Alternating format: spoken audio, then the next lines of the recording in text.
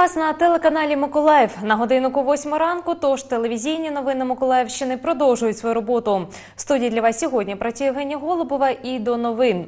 Проекти, що перемогли в голосуванні громадського бюджету, незабаром почнуть втілюватись в життя. Їхні автори отримали сертифікати переможців та консультації від фахівців. Практику використання бюджетних коштів на громадські проекти в Миколаєві запровадили вперше, хоча сама ідея вже реалізована у трьох містах України. Досвід е, уже перших етапів говорить про те, що впровадження практики громадських ініціатив є дієвим механізмом налагодження взаємодії е, громадськості і виконавчих органів влади. Е, Дуже радувала активність громадян під час подання проєктів і також етап голосування. За результатами голосування перемогу здобули 28 проєктів. З них 9 великих та 19 малих на загальну суму 10 мільйонів гривень. Експертну оцінку робіт та інформаційний супровід надали міжнародні організації. Особливу увагу приділяли суспільній важливості запропонованих ідей.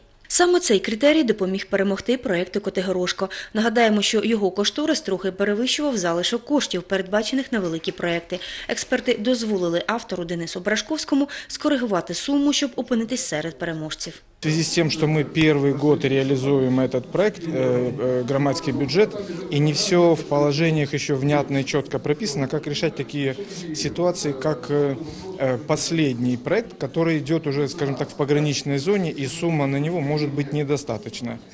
А Вот. Ну, мы э, тогда приняли взвешенное решение. Серед переможців проекти, що стосуються багатьох галузей, чимало освітянських, зокрема створення центру для занять робототехнікою. Сучасним дітям цікаво конструювання і виклик часу це звичайна робототехніка.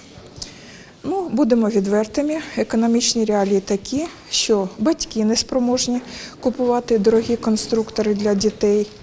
І в освіті, на жаль, немає, скажімо так, зайвих коштів для того, щоб е, здійснювати закупівлі дорогих комплектів, наприклад, Лего, Зараз вже розпочався пошук викладачів для центру, а приміщення вже виділено. Центр працюватиме на базі будинку вчителя. Займатися там зможуть всі бажаючі учні миколаївських шкіл.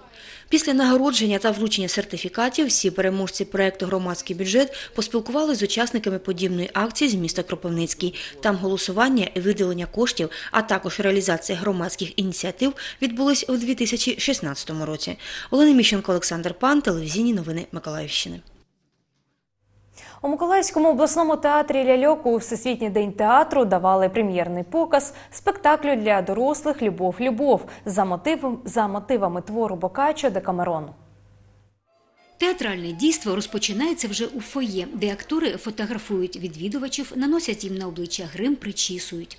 Сюжет побудований на тому, що видатний режисер Федеріко Філіні знімає кіно на тему Декамерона, тому з порогу були задіяні і глядачі. И у нас вся площадка театра – это съемочная площадка. Вот. Здесь, именно здесь мы готовим зрителя, это у нас масса, массовка спектакля и действующие лица спектакля. Насправді, вперше спектакль Декамерон за мотивами твору Бокаччо у нашому театрі ляльок показали ще 2008 року. З часом колектив театру змінився, прийшли молоді актори, і виставу вирішили поновити.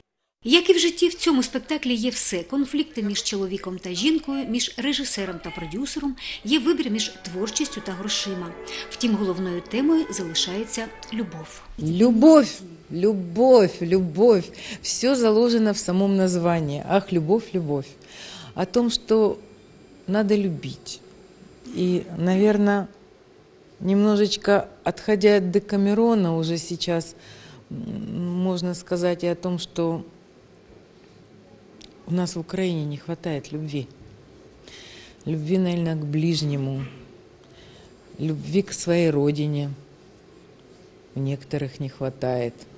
Серед глядачів виявилися як ті, що вже бачили Декамерон на Миколаївській сцені, так і ті, хто тільки відкриває для себе театр ляльок. Дело в том, что я его уже когда-то видела, а теперь у меня ностальгия, я решила это э, возобновить в памяти и, может, совсем по-другому воспринять это. Э, С удовольствием посмотрю. Я не разделяю детские спектакли, взрослые спектакли. Жду хороших эмоций, хорошего настроения, вот, э, ну, соответственно, постановки хорошие. Вот. Вообще мне нравится театр, да, вот, и приятно провести время с супругой. Декамерон не єдиний спектакль для дорослих у репертуарі театру. Втім, щодо наступних прем'єр у театрі зберігають інтригу. Про них глядачі дізнаються з театральних афіш. Тетяна Філіпова, Олександр Пан, телевізійні новини Миколаївщини.